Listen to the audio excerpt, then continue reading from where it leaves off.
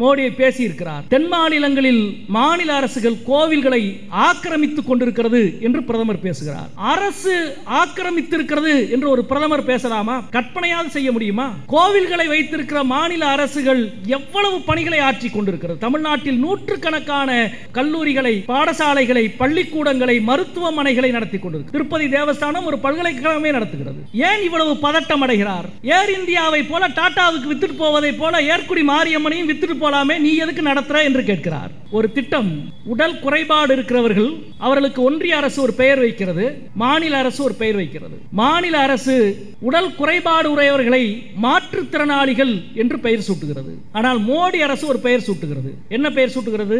திவ்யாங் என்று பெயர் சூட்டுகிறது. திவ்யாங் அப்படின்னா என்ன?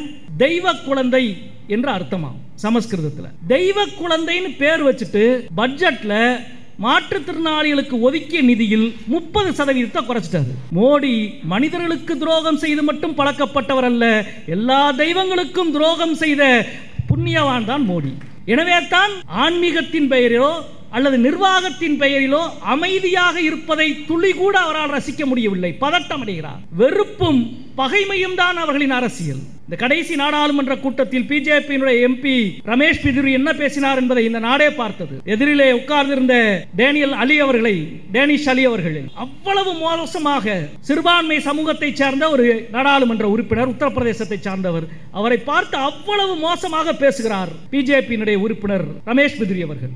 உடனே எல்லா கட்சியும் வந்து உடனடியாக நீ ரமேஷ் பிதிரி மீது நடவடிக்கை எடுக்க வேண்டும் என்று குரல் கொடுத்தார்கள். உடனே மோடி நடவடிக்கை எடுத்தார். மோடி உடனே நடவடிக்கை எடுத்து விடுவார். இதற்கு முன்பு அனுராக் தாக்கூர் பேசினார். டெல்லி சட்டமன்ற தேர்தலின் பொழுது ஜோலி என்று அனுராக் தாகூர் பேசினார். அப்படி என்றால் எங்கள் எதிரிகளை சுட்டு தள்ளுவோம் என்று பேசினார் அனுராக் தாகூர் என்ற மத்திய அமைச்சர். உடனே எல்லா கட்சிகளும் அனுராக் தாகூர் மீது நடவடிக்கை எடுங்கள் என்று பிரதமரை கேட்டார்கள். நாடாளுமன்றத்தில் நாங்கள் பேசினோம். சுட்டு தள்ளுங்கள் என்று ஒரு அமைச்சர் பேசுகிறார். நாட்டு மக்களை சொந்த நாட்டு மக்களை சுட்டு தள்ளுங்கள் என்று பேசுகிறார். அவர் மீது நடவடிக்கை எடுங்கள் என்று பேசினோம்.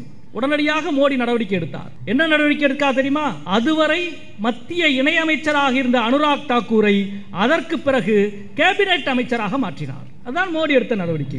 அதுவே தான் இப்பொழுது ரமேஷ் பிதிரியும் அவ்வளவு மோசமாக வெறுப்பையும் வன்முறையையும் கக்குகிறார் ரமேஷ் பிதிரி நாடாளுமன்றத்தில் எல்லோரும். இது இவ்வளவு பெரிய அவமானமாக இருக்கிறது. உடனடியாக நடவடிக்கை எடுங்கள் என்று சொன்னார். இவ்வளவு சிறப்பான ஒரு ரமேஷ் பிதிரியை வெறும் எம்பியாக மட்டும் இருந்தால் பத்தாது. ராஜஸ்தான் மாநிலத்தின் மாநில தேர்தலுக்கு பாஜகவினுடைய பொறுப்பாளராக நியமிக்கிறார் மோடி. இந்தியாவிலேயே அதிகமான கோவில்கள் தமிழ்நாட்டில் தான் இருக்கிறது. ஏறக்குறைய நாற்பத்தையாயிரம் கோவில் இருக்கிறது. அதில் மிக பழமையான கோவில்கள் சுமார் பத்தாயிரம் கோவில்கள் இருக்கிறது. இந்தியாவிலேயே மிக அதிகமான கோவில்கள் தமிழ்நாட்டில் தான் இருக்கிறது.